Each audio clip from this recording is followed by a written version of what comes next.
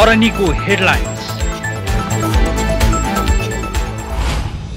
प्रधानमन्त्रीद्वारा संविधानको परिधिभित्र रहेर आवश्यक नीति निर्माण गर्न नीति अनुसन्धान प्रतिष्ठानलाई निर्देशन प्रतिष्ठानको काममा सरकारले हस्तक्षेप नगर्ने प्रस्तुति।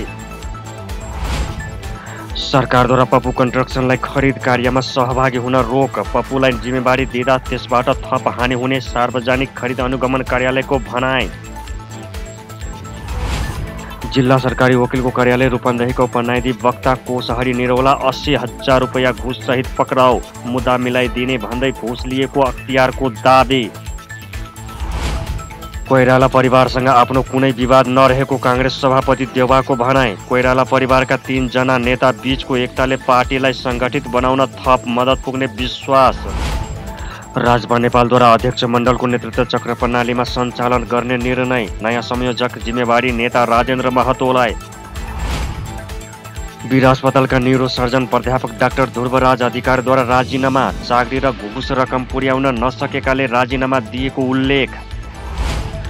एसियाली विकास बैङ्कले नेपाललाई करिब उन्चालिस अर्ब बत्तिस करोड आर्थिक सहायता उपलब्ध गराउने सहायता रकम पूर्व पश्चिम राजमार्ग सुधार परियोजनामा खर्च गरिने। गैरकानुनी रूपमा अमेरिका प्रवेश गर्नेलाई आप्रवासीको मान्यता नदिने ट्रम्प प्रशासनको निर्णयमा अदालतको अङ्कुश। ट्रम्पको आदेश तत्काल कार्यान्वयन नगर्न आदेश।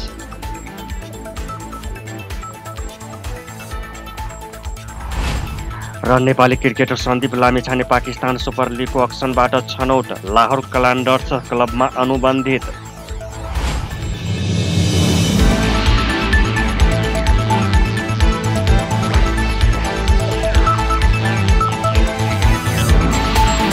अरनिको हेडलाइन्स